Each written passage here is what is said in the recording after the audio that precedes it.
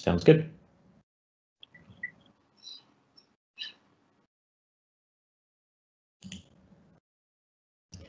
Good morning and good afternoon, everyone. Welcome to Illuminating Microsoft 365. Uh, my name is Richard Calderon. I'm a modern workplace strategist with the Pait Group, and uh, I'm going to be flying solo on this webinar today. Or normally I would have my co-host uh, Joy Apple with me. She's actually in, I believe, sunny Branson, Missouri, the next couple of days at the North American Collaboration Summit. Um, so, nonetheless, uh, myself and Stacy on the line here decided that we wanted to go ahead and continue on pressing along with our Illuminating Microsoft 365 webinar series nonetheless, because we know how much uh, it's been really well received by most of you. So again, thanks for joining here today. Um, as I mentioned before, my name is Richard Calderon. I have been uh, doing Microsoft consulting services for a number of years now at this point, and my role here at Pait is very much entirely focused on customer success so wanting to really try to understand where your business is going and where some of the pain points are, what's sort of the next things on your list of things to do to help the business um, move forward. And then, of course, how can Microsoft technologies, in this case specifically around Microsoft 365, how can those be leveraged to be able to help you achieve those goals? Um, that's my role. And of course, you can also reach out uh, to me a number of different ways. Certainly follow me on Twitter if you'd like. I try my best to get out and tweet as much information as we possibly can to keep you guys informed on what's going on. So as always, um, want to start off with just a brief little poll here just to get a sense of who's who's in the room. Um, if you'd like to respond to the poll, you can find a link to it in the Q&A window. And um, just a couple of different questions here just to kind of get a sense based on the topic for today. So we've got uh, responses coming in here already. Thanks very much. Certainly always interested to understand who's in the room here at this point. Um, but then also want to get some understanding generally about some uh, some of your what you have currently in place around governance for Microsoft Teams. So it looks like uh, I've got at least one response so far at this point. Um, do you currently have a governance plan? Looks like not just yet, so we certainly need one. So great. So hopefully you'll get uh, some good information based out of our conversation here today. Do you allow business users to create their own teams? And yes, you do, and that's completely fine to do that. Um, that's certainly Microsoft's preferred method, if you will, for allowing teams to just be created um, on their own. Got some more folks chiming in here, so thank you. And then how do you manage the team's creation process? Looks like that, um, again, from the current respondents, respondents don't yet currently have a way or an approach for that. Um, and then for uh, the one person who says, no, no, we've certainly restricting the way that uh, users can create teams. Looks like you've done that through creating your own teams uh, request process, which is great. So again, there's a number of different ways that that can be done, but if you'd like to continue to respond to the poll, please just feel free to do that anywhere along the way um, throughout the webinar.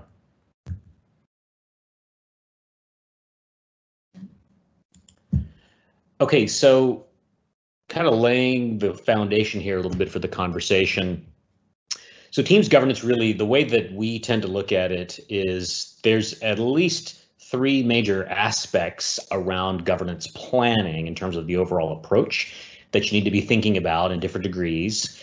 Um, there's certainly the overall lifecycle management of teams themselves. That is, you know, how are teams created throughout the entire use of teams. There's going to be management around what can be done and what you do with the content and so forth. But then at the tail end of the lifecycle, when a team is not necessarily useful anymore, uh, or maybe for any number of reasons you need to ensure that that data has been either set aside for archive or absolutely needs to be deleted so that you're minimizing risk of exposure of that information.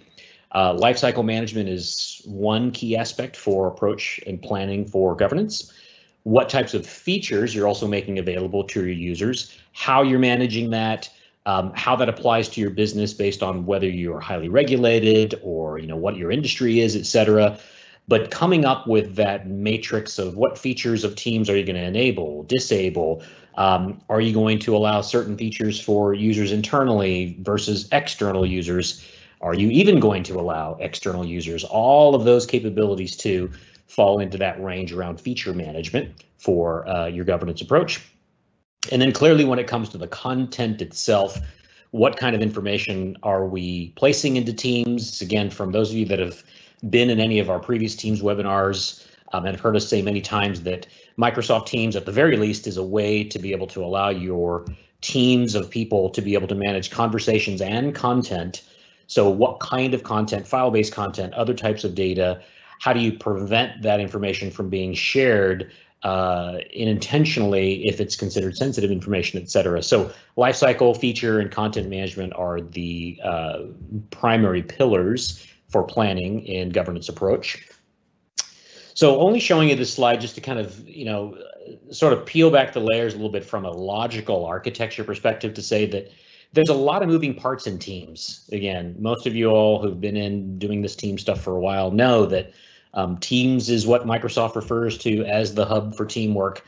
So it does a whole lot of things. It is the successor for Skype for Business, so you can use it for chat and presence indication, as well as online meetings, et cetera, et cetera. You certainly can use it for um, meetings like we're having now, which is a live meeting, but you can do it as well for meetings inside your organization as well. Um, and then those teams workspaces, those online workspaces that allow you again to be able to organize content conversations, files that are stored in SharePoint, et cetera, et cetera. There's a lot of different moving parts in here. So lots of things to consider about when you're really thinking about your overall governance plan. So ultimately you have to make some decisions somewhere along the way and you have to agree on what those decisions are and then ideally be able to put those decisions into practice um, and then again, we're going to talk more about how do you communicate those decisions and some what we consider to be best practices about communicating those. But things like, you know, who can create teams and do you have naming standards or not? One of the biggest ones that's always top of mind for most people is do you or do you not allow guest access? Um, which apps are allowed and et cetera, et cetera. Lots and lots of decisions. And then how do you go about managing those governance policies and, and settings that you've provided in the Microsoft 365 service in and of itself? Um, what Microsoft provides. There's two primary ways of being able to do that. There's certainly the user interface, which is from both the Microsoft 365 Admin Center as well as from Azure Active Directory Administration Center, depending on what it is that you're trying to govern in this case. And then within the Microsoft 365 Admin Center, a number of those different other admin specific admin centers such as Teams or even security compliance. There can be a number of different places from the UI that you can go in and provide the governance policies and settings. And then there are also some that you have to specifically either do through command line, um, or you can just simply choose to set them via command line automation if that's something that you choose to do so. And again, these are the management tools that are built into Microsoft 365. This is not inclusive of if you're considering or have looked at some third party vendors um, who also provide Microsoft 365 and Teams governance solutions um, those go outside above and beyond even just these management tools themselves. So in thinking about this particular webinar, you know, again, there's there's a lot of different factors involved, a lot of different things. But again, based on our experience, where the rubber meets the road, when you're really trying to get down to deciding, okay, what do we need to put in place and what do we need to be thinking about to try to drive a real successful plan for governance of Microsoft Teams. Um, I thought that it broke down really into these four primary pillars here, really needing to ensure that you find that right balance that works for your organization, because really no organization's governance plans or policies are going to be exactly the same. Um, but you know, obviously, how do you create the teams? Who should create them, and for what purpose?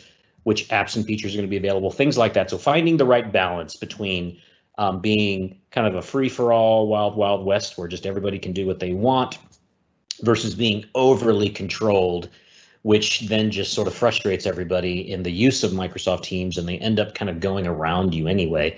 You want to certainly try to avoid that. You also definitely want to have a fair, uh, solid plan, if you will, or understanding of what that process would look like in terms of not only who should create the teams, but how are they being created Again, other considerations such as whether you're going to have naming conventions and are you going to enforce them and how, et cetera, et cetera. Um, that's a second success factor that we considered here. And then the content lifecycle in terms of what happens to information, conversations, files, data, again, that's all part of that overarching content management factor that we talked about earlier. And then something that oftentimes really just is an afterthought when it comes to any of these types of governance implementations is that overall communication as well as the training, how you're going to help provide that information to your users so that everyone at the very least is clear on what's available to me, what's not available to me, and why is it not available to me, and what are the expectations that you have of me as a user in actually affecting the governance plan themselves. Um, so how will you communicate those to your users? And of course, how will you train them? Ideally also that it's evolving over time so that you can gain feedback from your users if there's something about your governance plan that maybe is just simply unclear or maybe it's too restrictive again or uh, you know it's creating challenges for your users you want the ability to be able to get feedback from them so you can evolve it over time so as i mentioned one of those first key considerations is certainly around finding balance. Again you can look at this as a spectrum between having on the far right hand side of the screen just sort of turning on teams and letting everybody go no controls or limits and that can cause problems fairly quickly in many organizations. We've seen that and have had to try to come in after the fact and help affect some sort of a governance plan that sort of reins in a little bit of that craziness where there's no control versus on the other side of the spectrum on the left hand side of the screen if it's completely restrictive and overly controlled, again, your users are just going to find ways to work around you, um, especially because so much of this information is made available today out on the internet. Uh, those of you that know that last week was Microsoft's Ignite conference where they talk about all the great new things that are coming to the Microsoft cloud services. You know, when your end users get wind of some of these capabilities and then they look for that in the tools, but you've locked it all down, uh, that can be extremely frustrating and or disappointing for them. So the idea is to find that balanced governance in between. Again, whatever makes sense for your organization. There is no necessarily right or wrong, but we find that it tends to be a combination of both policies that you set at the system level. So again, as an administrator, you have the ability to control a number of different capabilities and so forth that are and aren't available to your users. So you can set those at the system level via policy. And then there are guidelines. There are areas where you really just want to say, look, we're not going to manage this for you, but we are going to make some recommendations. We are going to tell you per our company policy or company guidelines rather, this is how we expect for you to do these things. And maybe that's going to be something that is going to start off with some guidelines and again, the training and the communication. And then eventually over time, you might flow those back into the system level so that they're being managed actually via policy or vice versa. It might be something that you start off with as a policy, but then you open that up over time to become more of a guideline and less restrictive because again, as your users get more um, mature with their use of Microsoft Teams, then you might give them more ability to manage that on their own. So when you think about who can create teams, uh, again, by default, actually, just to point out here, by default, anybody who has Exchange Online, a mailbox in Exchange Online, by default has the permission to create teams because they have the permission to create Microsoft 365 groups. So again, in some of our previous webinars, we've talked a little bit about the fact that Microsoft 365 groups, formerly Office 365 groups, is kind of that underlying membership foundation on which Microsoft Teams really sits. So whenever a Microsoft team is created, it's actually creating a Microsoft 365 group behind the scenes, which is a membership object in Active Directory. It contains a set of members. And then it also provisions an Exchange mailbox that's shared by that set of members, a SharePoint site that is used for, at the very least, for storing files and it's connected to Teams, and a number of other things, um, a planner board, a OneNote notebook, all these things get created automatically when a Microsoft team gets created. So again, because if a user has a mailbox in Exchange, they automatically have the permission to create Microsoft Teams one of those first factors is you need to decide who should be able to do that. Again, do you want to let anyone in the org, which is fairly open? Again, that's the that's the default doing that. Do you want it to be only admins? So you want to lock that down to where only administrators can and your users would have to submit a request of some sorts for teams to be created. There also is an in the middle here in this case. You can, and we have had worked with a number of organizations where you can delegate to specific people, and um, that could be other IT people in the organization. If maybe you've got a distributed IT organization and you've got people that sit at a local sort of a site level IT, you could delegate to them, or you could also delegate to business users. It really can be anyone in the organization that you want to delegate the creation of teams to. However, it does require, there is a licensing consideration in that. It does require Azure Active Directory Premium Plan 1 at the very least um, to be able to affect that policy to say this group only has the ability to create Microsoft Teams. So just something to consider. Again, we found that to be very successful in a number of companies that we've worked with because it takes the the sole pressure of Teams creation off of primary IT um, and then allows it to get closer to the business so that maybe there is again a business owner either of a specific group or department or region even for that matter who is the primary contact for that set of users when they have a need for a new team, they can simply request it from that particular user. And again, that would require that Azure AD Premium license for those people who are going to be doing the creation of teams. So it doesn't mean that everybody needs it. It just means the people that are going to be creating teams need to have that Azure AD Premium license. So again, talking about creation of teams, you also have to be thinking about well, what features are going to be available. Guest access is always ones that pops up and again, there isn't a right or wrong for this. It just depends on what the business need is within your organization. If you have regulatory requirement restrictions for allowing guests and so forth, but just know that you have the ability to be able to turn this on. This is not on by default, by the way. This is turned off by default whenever Teams is uh, sort of first enabled or you first are setting up Teams for your organization. It is turned off by default. You do have to turn it on. But then once you've turned on the ability to have guests, which are again people from outside your org that can come in and participate inside of your teams with conversations and sharing files, uploading files, etc.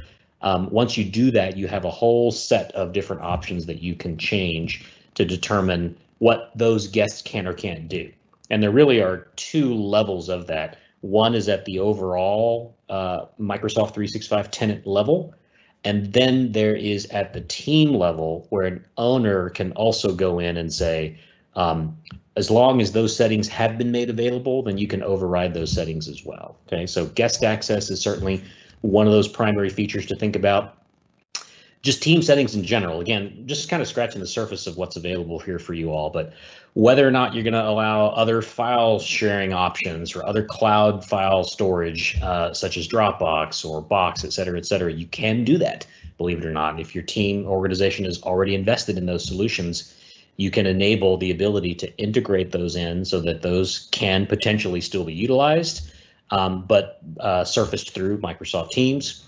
And then again, a whole other set of other types of settings that you can choose from. Again, we're just scratching the surface of it, but these are some that apply at the team level here. Um, you can also apply a number of them per user by policy. Um, so it's a whole other set of options that you can configure. There's also app permissions that you want to consider as well too. So which types of apps do you want to allow for your users? You can either take some of these defaults, which is to just sort of allow them all. Um, again, you have Microsoft apps, you have third-party apps, um, you can also have custom apps that you can deploy as well for your organization. Those are what they refer to as tenant apps in this case. So you can go in and tweak these and refine this so that you can choose which of these features you do or don't want to make available for your users.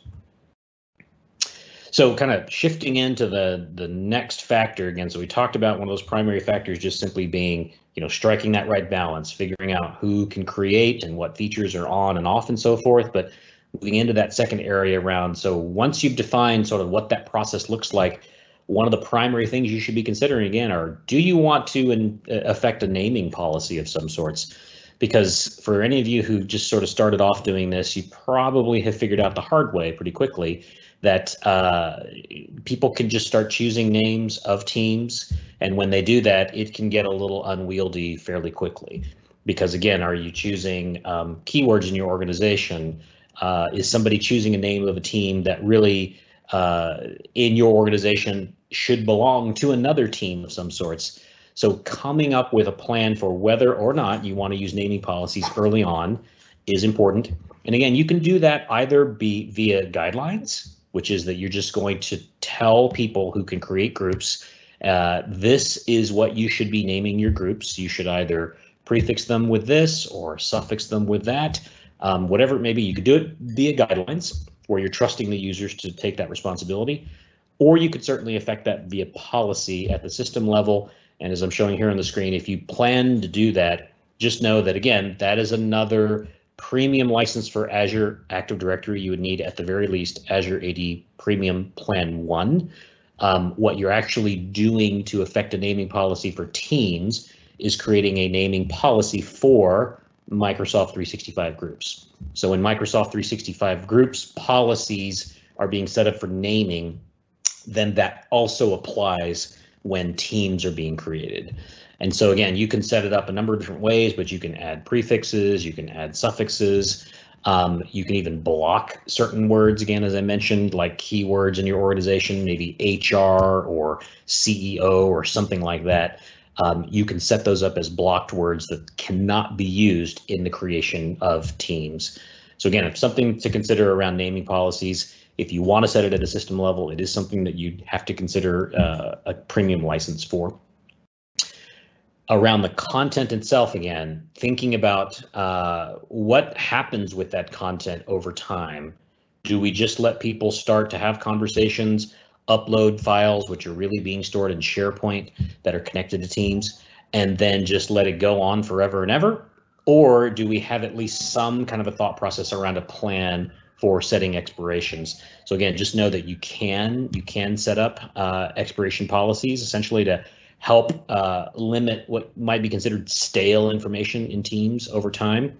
Yet again, just to point out, this is another one of those capabilities. If you want to set that up uh, at the system level, it does require Azure AD Premium Plan 1 for the team members that want to have that expiration policy, essentially. Um, but it provides a number of benefits. It does allow for the owners of those teams to get notifications. You can set the expirations to be, you know, within 30 days uh, send me notification within 15 days, send me another notification, and then certainly the day before, um, let me know that it's going to expire so that they have the ability to renew the use of that team. Uh, if it's enabled by default, the expiration policy is 180 days. You can change that though. You can set that to be 365 days, or if you needed it to be a shorter time for it, you can set it to be 90 days, etc.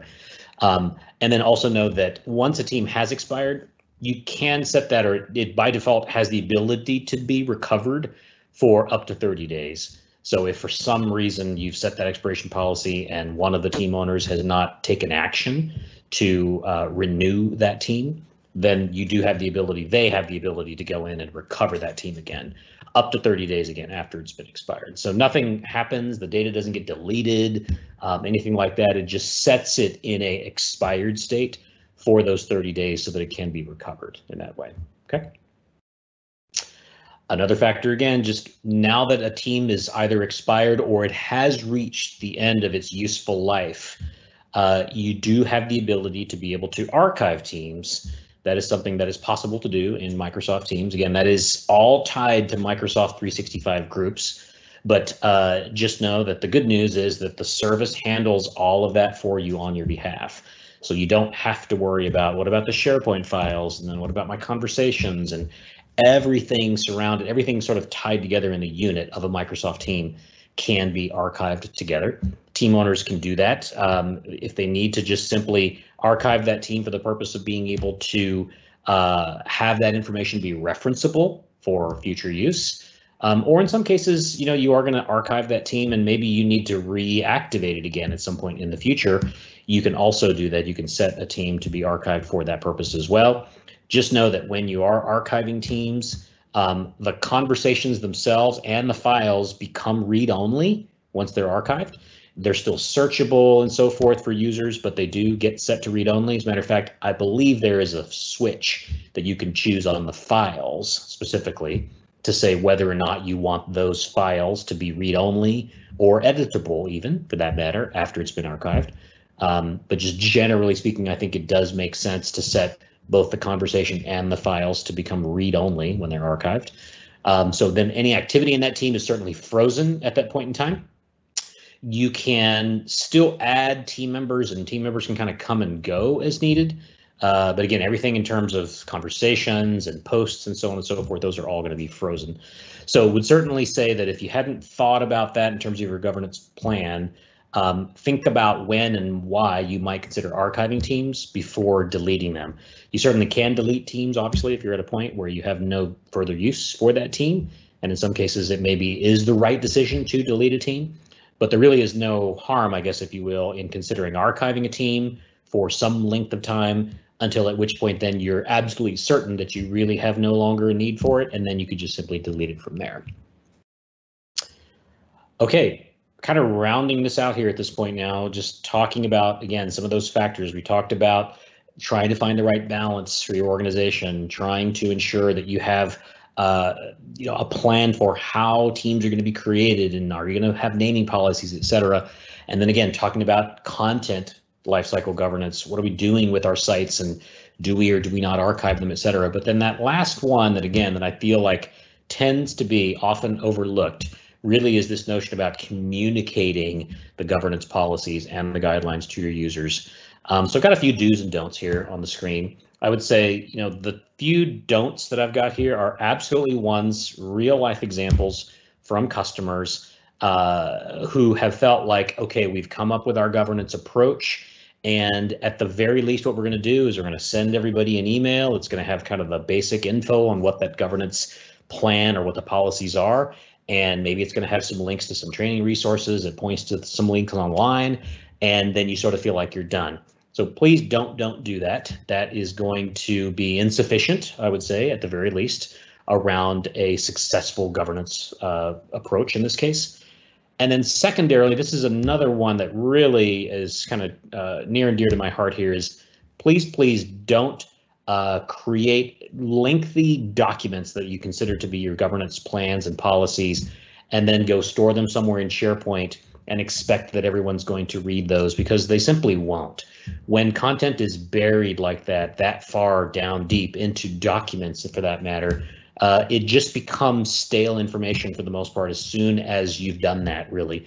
It doesn't mean that you can't start off with you and the people that you've defined as your kind of your governance committee, if you will, doesn't mean that you can't start off by drafting documents, obviously, and sharing those documents with each other so that you can get buy-in and get clarity on what the decisions are. But once you're at the point of trying to communicate that with your users, please, please extract that out of those those documents and put them into web page format. There's a number of advantages of doing that really. So a couple of the do's that we have felt have been really useful for companies we work with is the creation of a, you can call it a Microsoft 365 adoption center for that matter, and create that as a SharePoint communication site. So again, for those of you that have followed along some of our other webinars know that when it comes to modern SharePoint, uh, you know, again, it's not your grandfather's SharePoint anymore. There's lots of great things you can do with modern SharePoint, one of which is the creation of these communication sites, which are these beautiful sites that allow you to be able to communicate broadly across your organization. Use that to create a adoption center, which would be inclusive of the information that you would create in this governance plan. Um, you could also adapt existing solutions such as the Microsoft 365 Learning Pathways site. If you haven't seen that, I would certainly encourage you to go to um, lookbook.microsoft.com and check out a number of the different templates there that Microsoft makes available. Uh, really, they're examples, but you could use them to actually go forth and create communication sites of this type and one of those examples there is the Microsoft 365 Learning Pathways, which is a fully content curated training portal that Microsoft makes available for you with a ton of guidance and information around how to use the Microsoft 365 applications and tools, including Microsoft Teams. Um, but when you do that, my recommendation would be don't just turn on Microsoft 365 Learning Pathways as is and then just send everybody the links to it. Use that as an opportunity to be able to weave in your governance policies and guidelines in line with that information so that you can, as the point I'm making here at the bottom of the screen is help your users understand not just the how to do things, but also the how should I do those things as well. So again, those are all part of your governance policies and guidelines. You can incorporate those into something like a Microsoft 365 Adoption Center which you could use the learning pathway site for as a basis. Okay, well, I mean, that's primarily the information I wanted to cover here today. So I'm going to flip back over and see any questions or anything that's come in, Stacy, at this point.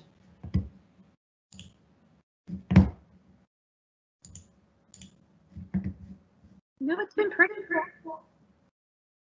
Okay. All right. Well, if you did have any other questions at the moment, feel free to either weigh in on the Q&A. Happy to answer those as we go. And then if you don't get them in the Q&A, I will at least uh, show you the last screen here, which is um, contact information both for me and for Joy Apple as well too. Uh, you can certainly reach out to us here via email. You can always uh, tweet at us. Those are our Twitter handles there. And if you happen to have your phone handy. You can also scan these QR codes here, which will take you directly to our LinkedIn profiles. And um, please, please connect with us on LinkedIn as well too. We'd be happy to be able to interact with you all there as well. Um, so if you got any additional questions, feel free to just reach out to us in a number of different ways. And then I know that we've got uh, on the plan to have, I think, a webinar next Tuesday as well too. We don't have the information on all that squared away just yet, but we will get that out to you as soon as we have that available as well.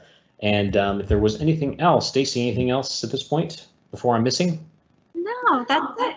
Covered everything. Okay. Well, fantastic. Well, short and sweet again on a Tuesday. Uh, for everybody that's joining, I really sincerely appreciate you taking your time out of your day and hope you have a great rest of your week. Thanks.